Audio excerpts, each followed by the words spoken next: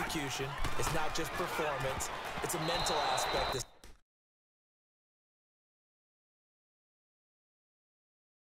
going on. Because right now, he's the defense so much on their heels, got them looking at each other. Who's going to cover this guy, and what type of coverage can we put out there to try and slow him down?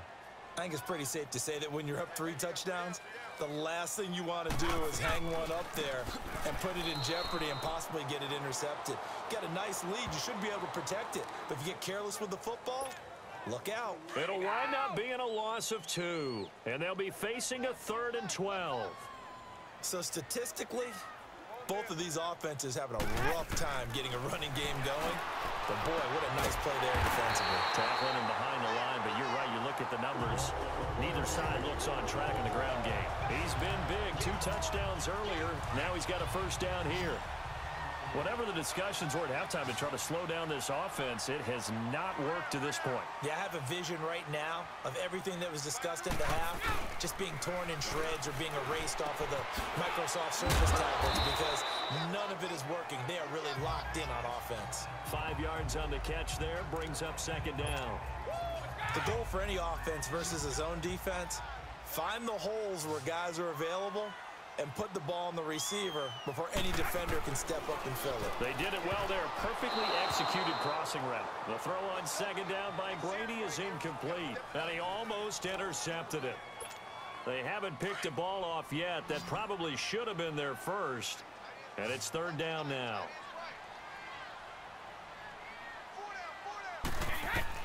Again, they'll throw with Brady.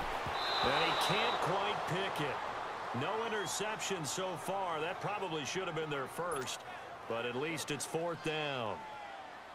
Not only was the call spot on, how about the execution of that defense right there? Zone was absolutely locked up tight.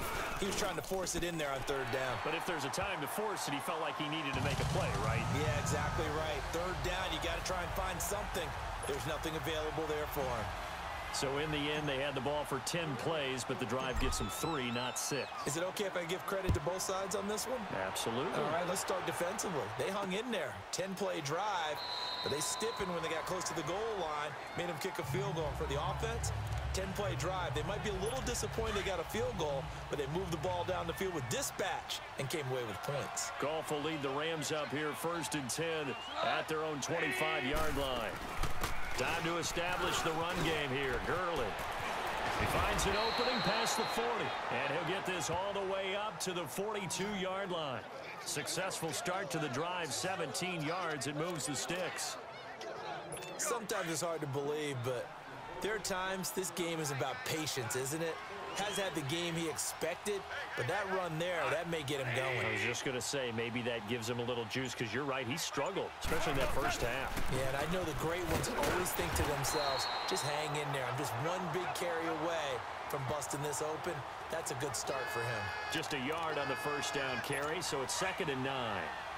They tried a quick hitter inside, but that one was swallowed up because what they're hoping, those big defensive linemen will take the bait and move laterally and open up a crease that they can run through. Didn't happen on that play. Here comes carry number 10 for Gurley. And that one blown up quickly as he's going to be stopped before he could even get started. They'll wind up losing three yards here. And that's going to lead to a third and 12. But these guys going to chop into that deficit, they got to do a much better job in the run game. Caught behind the line of scrimmage, no yardage to be found. And that one's complete to Gurley. And he's able to get this one out closer to midfield across the 45. Give him eight on the play, and that'll bring up fourth down. So many times you hear today's NFL described as a space game. Get your best players into space with the football in their hands. That's why sometimes you just swing it out to your runner, get him out in the flat, and let him have a chance to make people miss an open field.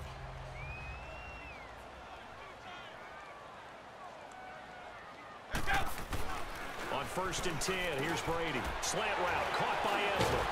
And he's got it past the 30 before he's hit and dropped.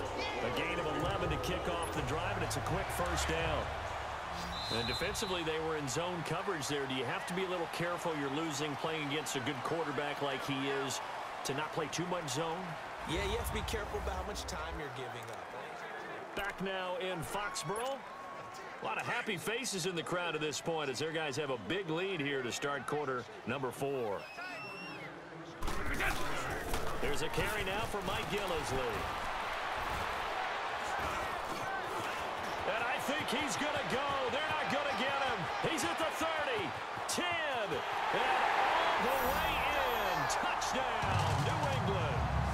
Mike Gillislee, 69 yards. And the Patriots continue to roll. And, my friend, I think it's safe to say that this game is pretty much deceased at this point. it's taken a knee, so to speak. It is definitely this victory formation. Take the snap, take the knee, call it a night, you know, call it a game, call it whatever. I agree with you totally. I don't think there's much left to get except for those who want to run up the score. I knew this was over about a minute ago when you took your stat sheet and just flipped it over your shoulder in the trash can. Yeah, that's that's, my, yeah, that's similar to the guys cutting tape off yeah. right before the yeah. game's over. We know this thing's done.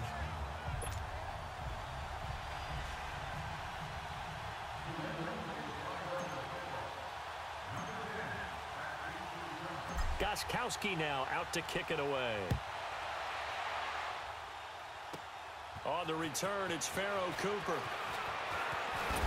And a good effort on the return there. Gets him across the 30 to the 33-yard line.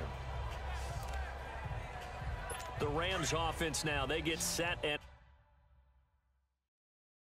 head back onto the field. And down on the scoreboard, certainly needing to avoid what happened on the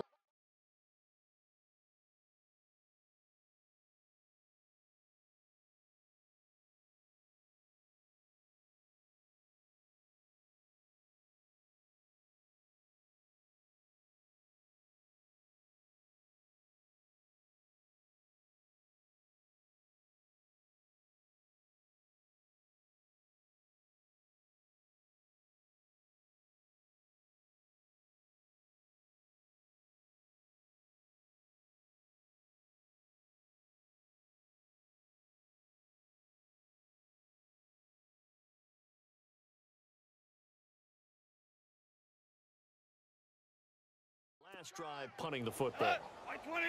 Sense of urgency has to take over for them here. They know the score. They know the situation. And by the way, the punter no longer exists for their offense. That's how they have to treat this drive. They need points. Big time. That play going for 16 yards to start the drive. First down. I know many people like to throw to the tight end, maybe in a little flexed out position because he creates mismatches with his size. But slot receivers do the same thing with their quickness, their speed, and their route running savvy. And he'll take it across the 50 and into New England territory. It's a six-yard pickup, and it gets him to second and four. Let's talk a little football 101 here because one of the keys to advancing the ball downfield, success on first down. Huge difference, as we know, between second and four and second and eight and nine. Goff now looks to throw. Toward the sideline, he will have the first down. Good catch. He was able to keep the feet in bounds. They get six on the pickup there as the drive will continue. If you're running out route, it's likely you're going to end up near the sideline. And what did we just see there? Toe tap. Eh, you got it. The benefits of practice. Toe tapping, foot dragging, picking it up, and making sure it was a catch. The open receiver, it's Robert Woods. And he's going to get this inside the 30. 12 yards there as they move the chains.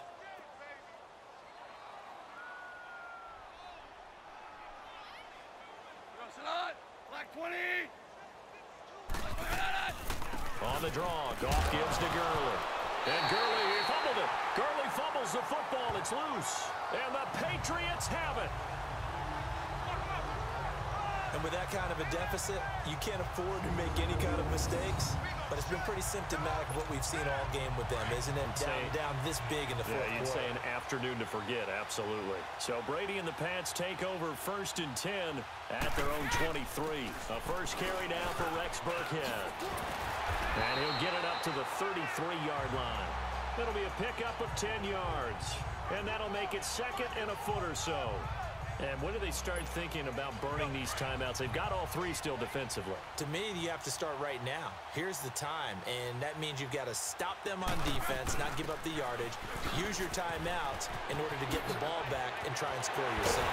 But now is the time to start using those timeouts. And keep in mind, it'll also stop the clock at the two-minute warning. Good yardage as he rumbles for 24 and a first. This is a little bit like baseball here. Strong up the middle. Both sides want to be that.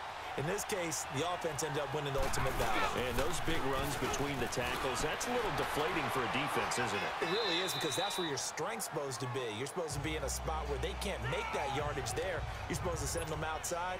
Not in this case.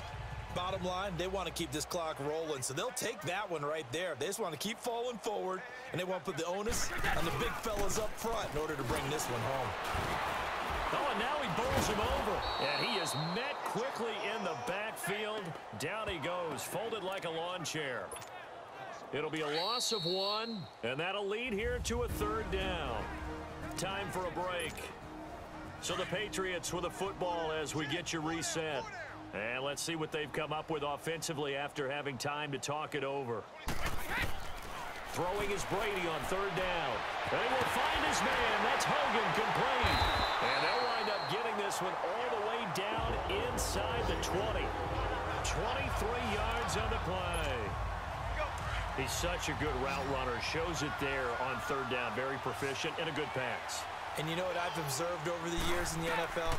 The better a route runner you are, the more confidence your guy's going to have in you to go to you in important times because he can trust you being in the right spot and they connected there and picked up a first down. It's always a battle. Who's going to win on first down, the offense or the defense? Let's face it, if you've got the ball, four yards or more on first down is what you're aiming for. They tried to throw for it there. And they are going to score again. Yet another touchdown as they just add to their totals. So another score there. Often you talk about the three phases of the game. Defense, offense, special teams. It's been a clean sweep in this one, hasn't it? It certainly has. They've been pretty dominant throughout this game. And privately, the head coach will add a fourth phase. That's the coaching. And he'll tell the ownership that as he tries to negotiate a new contract off of this win. Uh, they are looking strong here in the fourth quarter. Gostkowski now out to kick it away. This will be fielded on the back line of the end zone. And no run back here. This will be a touchback, and it comes out to the 25-yard line. And now out on the field, here comes Los Angeles. They've lost this one. Their offense has struggled. Do they try to put together something here at the end just to take into next week? Yeah, sometimes teams want to do that and coaches want to. I remember one time I was on a team and we were losing late in a game like this and you knew it was lost. It was over, right? And the coach called a running play and pretty much said to everyone, I want to see something executed well before we get out of here. And that was the message to the team. Just something to build Just on. something to build on, get it done, and maybe we can look at that and say, we'll get better as we go forward. On first down, it's gone. Right side complete. That's Woods. And able to get this one across the 45 before he's brought down. Give him 12 yards on that one. It earns him a fresh set of downs. Offense for them has been at a premium. You wonder where plays like that have been all game long. They're thinking the exact same thing themselves, but they're also looking forward now because now these plays are really for next week, trying to get some momentum going. Give them three on first down. It'll set up a second and seven. What's the old expression, three yards in a cloud of dust? In this case, it's dust-covered pellets. It's no longer that old grass that we used to play on, right, and chew it up. Now, we've got that artificial surface. You see the pellets go up. Still a nice play by the defense. And he's going to take this one down inside the 45. It'll go as a gain of seven on the play, and it sets up a third and inches situation. Despite the blitz, they're still able to pick up a nice solid gain. The disadvantage of blitzing alters the normal spacing and run fits and leaves creases like they were able to exploit right there. And that's incomplete. Clock stops with 10 seconds left. Another wayward pass. You know, things started out poorly in this game, and to be frank, they just really haven't gotten much better. And all that does is embolden a secondary. They feel good about what's going on, and they just play better and better. Goff now to throw. They got him in. It's Woods. And they'll wind up getting this one all the down inside the 20. That pickup goes for 25. What a flip of the script from fourth down to first.